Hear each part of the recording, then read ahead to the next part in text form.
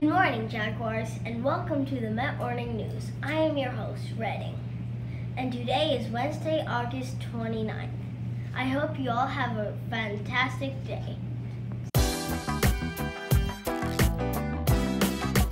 Hi, I'm Maya, and here's what's happening at the Met today. Secondary has a meeting about electives for grade 6 to 5, period 4.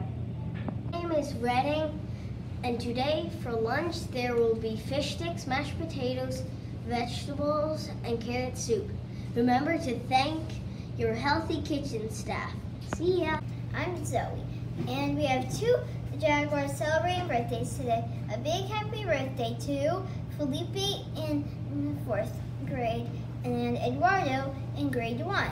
Happy birthday!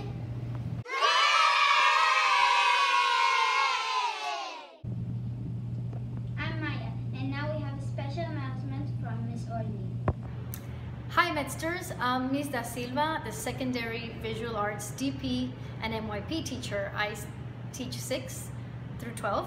And for all of you who think that can't draw, yeah, you in the corner over there saying, oh, I'm terrible. Everyone can draw. And Miss Betty Edwards had a book called Drawing from the Right Side of the Brain, and she proves that that's a fact. So if you want to draw something that's very complicated and have no skills, well, I've got a tip for you. So here we have one of my DP students, Rachel, and she'll be showing you the tip. It's basically just turn the drawing upside down and draw it little by little. You could even cover it like this.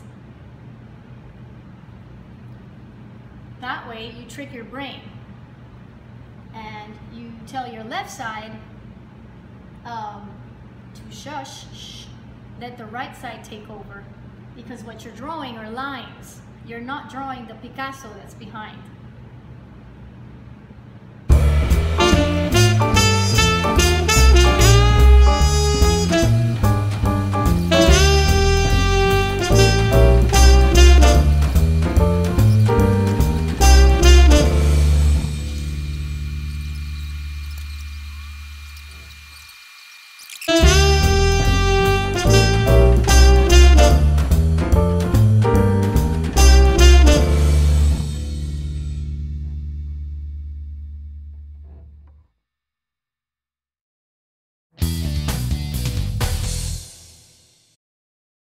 Three. I'm Zoe, and on this day in history, the Beatles performed their last public concert in 1966.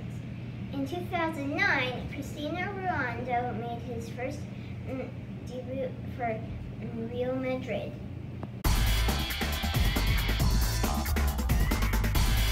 I'm Redding, and I have your challenge of the day for today. See if you can learn the name of someone you didn't know before from our school community.